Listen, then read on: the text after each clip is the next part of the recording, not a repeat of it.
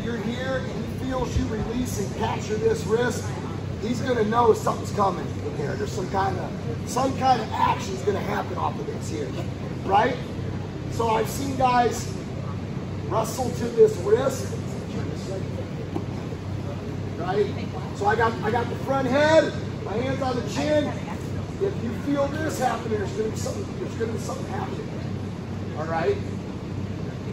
So you can go here, catch the wrist, right? And I think the purpose is this is like a bailout. I think that if you have this wrist and you try to whip underneath here like this, right? If the guy kind of catches you there, you can you're controlling an arm so he can't really grab your legs. I think that's why you do that. Um, I, I, am okay at it. I'm not amazing with this move, but I can do it to both sides. And it's nice to have because if you're pretty good at it, but you don't do it a lot, you can catch people. You can catch really good guys with it. All right. Now, um, one of the best that I've ever seen, and a guy that I, when I was a kid, Mike Mena wrestled for Iowa. He was a four-time Illinois state champ. And I believe he was a four-time All-American. He was a national runner-up. Just that he was a hammer. And he would do this a lot. And one of the little things that I saw a video that he was doing, that he was talking about, was he would get here, and what he would do with his underhook here is he would pull his arm this way. So he would extend, he would extend the arm down, and then your head goes right here. Okay?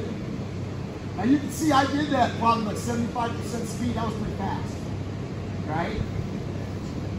And if you can get your hips up on top, you tee out, you're gonna probably pin the guy. Right? Like I said, this isn't I'm not showing you this to be like, make a living off this thing. But it's fun to work on. It can be a really good tool to have in your tool bag because wrestling happens really quick. Right? You're boom boom, you're wrestling, you might fake, snap, catch your front headlock, bounce that guy down, he comes up, boom, you whip through it. If you have the ability to, if you have good, um, what, what am I trying to say, maybe body awareness or explosion, you can develop this move, in this series, it can be something good to have. Even if, even if you catch a guy here banging him down, they're like, hey, elbows in, watch the roll, no roll, right? Then you can maybe chain wrestle into something else and get a guy moving. Okay? So, what we're gonna do, we're just gonna work on. Okay, now look, they go together, right? So let's say I'm here and I bounce down, I try to push this and he squirts right here.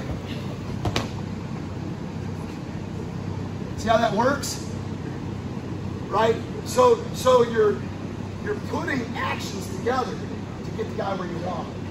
Right? Another thing too that I've noticed when I get in this position, what I try to look for is I really pull guys down. I hang on guys. I pull, I pull down. If the guy's up, let's say he's up, like, like not down the mat yet. And I catch him here, and I try to pull him down. All right, if that knee's up, right? That knee's up. What I try to do is kick that knee to the mat. And notice my head's not up here floating around. My head's right here tight to his body, right? So if I can pull, look right now, that knee's on the mat, right? Here's what we do. I'm gonna extend this arm to me. So the hook, the hook is going right here, watch. See that? Tight and I'm whipping under fast. See where I finish? Out to the side. Okay? So, bottom guy, understand where you're going. Okay? Let your partner roll you. It's not live, but you're not loose. You're not a noodle. All right? You're here. It's kind of pulling in. You see it like this. Okay? Guys, there's a guy, the dude from uh, Lehigh, his last name was Rohn. He was, hey, he was getting hammered in the NCAA finals. And he was really good. And the guy that was wrestling had a really good tilt. Guy from Oklahoma, Lambrecht, I believe his name was. And he was up by 12 or 13 points. The other the dude from Oklahoma, and it was third period, there was about a minute left, and they got into this. He's a he's an Easton guy, right? And he did one of the craziest things I've ever seen. He was here, and he actually did it. He he faked him out. He went like this. He went, and then came back this way. And he ended up pinning the guy. It was crazy. I think it's on YouTube. You might find it. I don't know what year it is. It's, in, it's 2000 something. But, I mean, just a prime example of a, of a guy that he was down. And you know they knew about it. That dude was probably like, stay out from underneath and you get caught, you drill, whatever. And it just takes one time. I got pinned in one. I got pinned in one.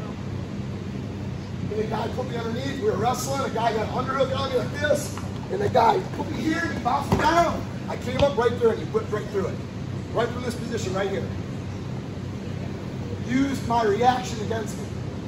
Right? So I just want you guys to drill it. I just want you to practice it. Right? We're in this common position right here. And maybe I can bounce him. And lift punch get here. Oh, he's, he's going right now. Boom, right here.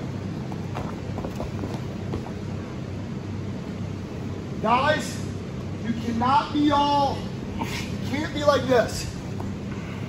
You can't hit it from here. Yeah, it's too loose. All right? I have to be tight to this guy. Tight. Tight. My head's not up here. I'm solid tight.